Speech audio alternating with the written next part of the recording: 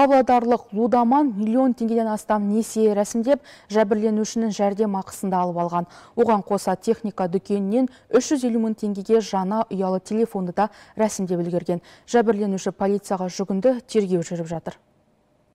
Әлеуметтік желіде жаңалықтарда алаяқтар туралы жиі естісек те олардың арбауына түсіп қалған адамдар азаймай тұр. Мәселен, павлодарлық тұрғын үйдің ауласында психикалық ауытқуы бар қызбен танысып, оны пайдаланып кеткен. Жәбірленушіні суретке түсіріп, микроқаржы ұйымдарынан оның атынан 800 мың теңгеге жуық несие рәсімдеген. Барлық қаражатты қарыз шотына және букмекерлік кеңселерге аударды.